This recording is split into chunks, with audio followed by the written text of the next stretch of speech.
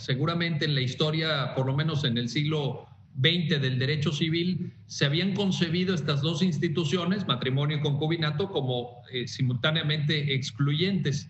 ¿Tendríamos esta concepción todavía? ¿Esto subsiste? ¿Tiene razón de ser? Tú como especialista en derecho de familia, eh, ¿qué nos puedes comentar, Fernando?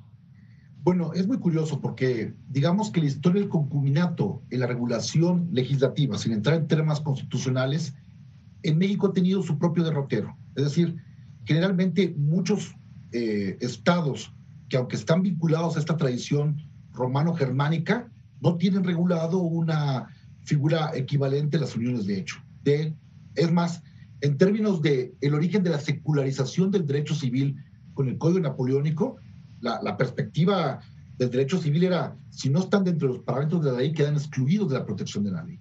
En México tuvo un derrotero distinto. Y sí, yo creo que la perspectiva legislativa tradicional, a cómo se conformó estas uniones de hecho llamadas en México concubinato, era una, un sistema de dependencia y de exclusión. ¿Por qué?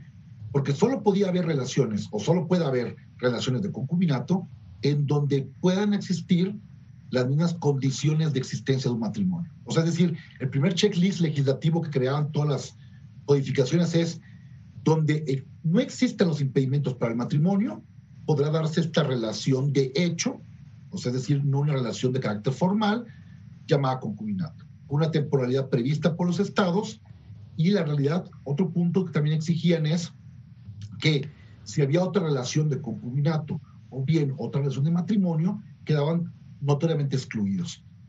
Desde su configuración clásica, la regulación legislativa del concubinato mantenía diferencias muy bizantinas con relación al matrimonio. Y, pongo un ejemplo que no es materia del, del, asunto, pero sí explica un poco lo que la señora se duele en su amparo, que hay una carga ideológica en cuanto a la configuración de esta figura.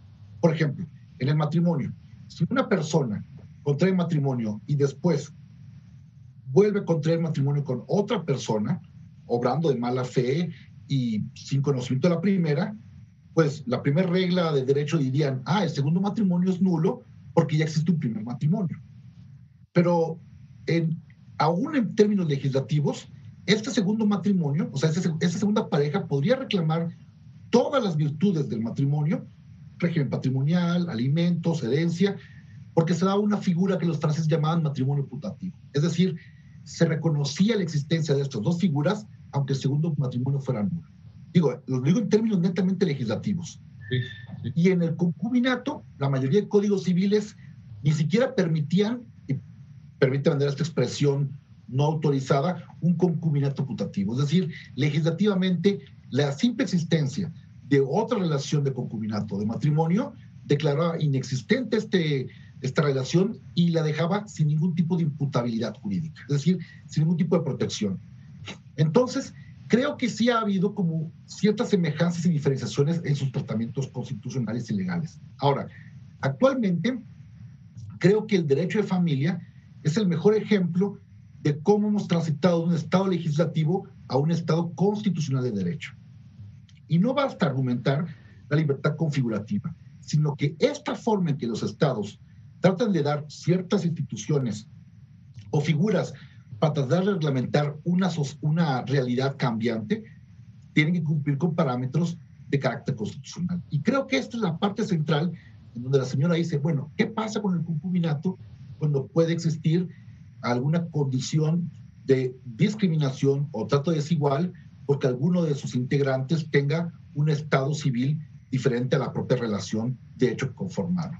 Y, y pongo ese antecedente histórico porque se ha habido una marcada diferenciación en términos netamente legislativos en las posibilidades de matrimonios con concubinatos y evidentemente los dos tienen que tener un mismo tamiz de control constitucional.